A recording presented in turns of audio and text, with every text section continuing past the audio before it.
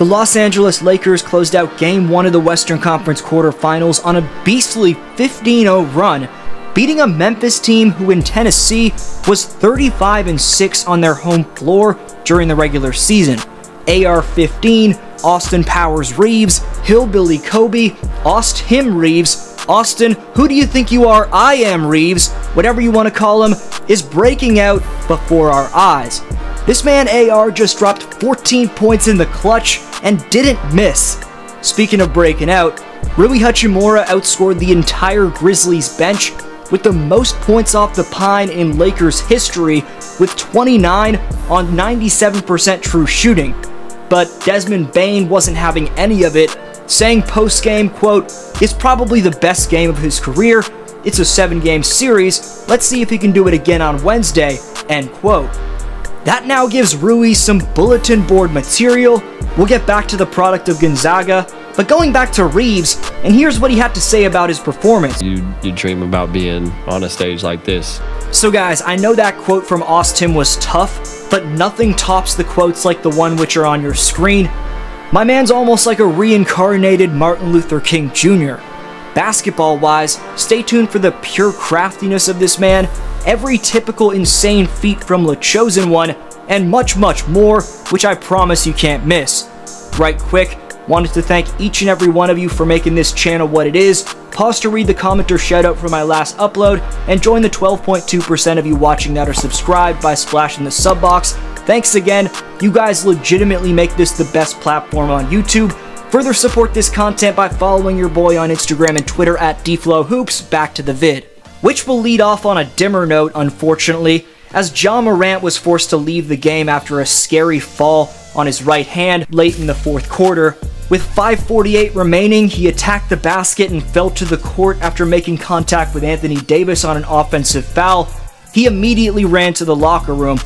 Ja spoke on his injury post-game, saying, quote, It's tough, man, especially with everything I've been through pretty much this season. My main focus is to be out there for my guys now another incident where that's pretty much in jeopardy. It's pretty much how much now I can tolerate. If I feel like I can go out there, be somewhat myself, I'll probably play, but I don't want to do anything to hurt the team, end quote. Obviously, no one wants to see someone get hurt like Morant did, as tough falls like that one are no joke. Just ask Giannis, who was forced to leave game one of his series against Miami with a hard fall. But from a Lakers standpoint, regardless of Ja's status for the rest of the series, and while there'll be plenty of gassing up of the Lakers from the likes of yours truly, LA can't buy into said gassing up, and conversely, must keep their foot on the gas. On the injury front, Anthony Davis played through one of many injuries he's played through recently, evidently injuring his arm, and you could tell right here he says, I can't move my arm. AD would speak on his injury post-game, saying, quote, had a little stinger where my arm went completely numb. It was numb. I couldn't move it, end quote.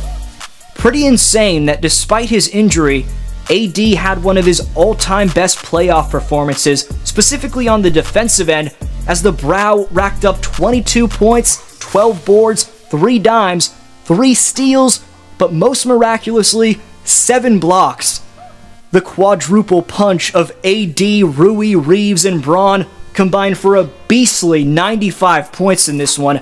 Speaking of LeBron, the longevity awards for James just keep stacking up, as Bron has played 266 playoff games in his career, the most of all time, and far more than the entire Grizzly franchise combined. And don't forget, this man's 10 finals appearances are more than 27 NBA franchises. The owner of my LeBronto Raptors isn't to be messed with or doubted. In terms of Game 1, longtime LeBron D-Rider Skip Bayless took a very rare W by tweeting out, the Los Angeles Lakers just won Game 1 by 16 at Memphis as a 4-point underdog, with LeBron James as their fourth best player, statement, that Skip tweet said, when you look at all the chase down blocks LeBron racked up in this one, even just the forced misses he impacted in general, it's questionable whether or not he was the fourth best player. That became especially questionable after he activated Le Fuck You 3 down the stretch. It's nuts that his quote unquote best friend in Draymond Green said on his podcast recently that James looked gassed, considering LeBron led the NBA in transition points this year and the 2016 finals esque chase down he pulled off on Bane. James is anything but gassed, and he's as motivated, plus as in shape, as ever before. We'll never know if he was telling the truth based off of the fact that he's memed for being a notorious liar, but LeBron gave his thoughts on the ongoing breakout campaign from Austin Reaves, saying, quote, It's not surprising to me. I knew from the first practice we had he wasn't going to be a two-way player for long. I've been around the game long enough to know great basketball IQ players, type of players that fit with my game, and I knew Austin would be that, end quote. In terms of this game in particular, Here's a live look at LeBron's reaction to Reaves going off. Too small! This man too small! And y'all keep too small! That's what he told you. Speaking of Reaves, and all jokes and memes aside in regards to this man, and he's quietly become one of the craftiest bucket getters the NBA has to offer. AR 15's ability to position his body and stay balanced for tough finishes in traffic around the hoop generally his motor throughout the course of a game to maintain stamina despite all the hits that he takes, and most prominently, his scoring wherewithal to create whatever he wants while staying calm, cool, and collected whilst creating in the pick and roll, are qualities which have now made him certifiably LA's third best player. That statement is with all due respect to a man I've dubbed in the past as lefty Stephen Curry, D'Angelo Russell, and while that may have been an exaggeration for D'Lo, his lack of toxic ego and how far he's come as a teammate since his first stint as a Laker have been extremely valuable to the squad. Whether it's taking a back seat, supporting his teammates relentlessly by getting hyped for them, or whipping out his contagious ice in the veins celly, the vibe enhancing is more than evident from D'Lo. How can we forget about Desmond Bane's very best friend and another man who made his playoff debut in this one in Rui?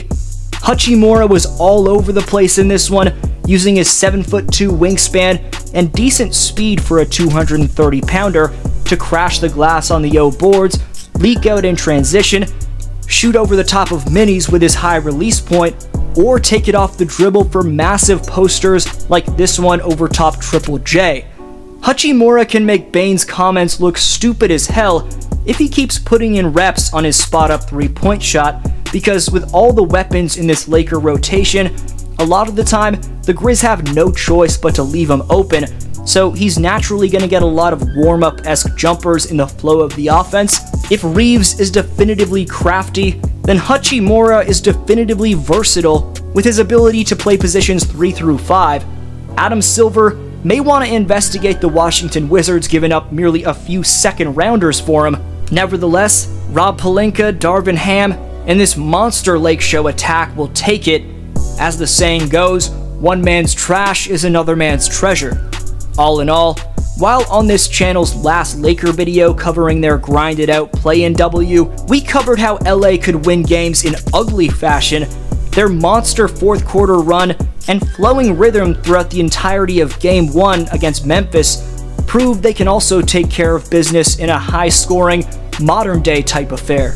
It's shaping up to be a special run for this championship bred Laker ball club, but again, if they buy into this gassing up, they'll lose their edge, something that can't happen. Anthony Davis has to keep staying healthy, LeBron and D'Lo have to keep leading the troops and playing smart, turnover-free basketball, now we wait to see what happens on Wednesday in Game 2. This was D Flow. Have a good one and peace.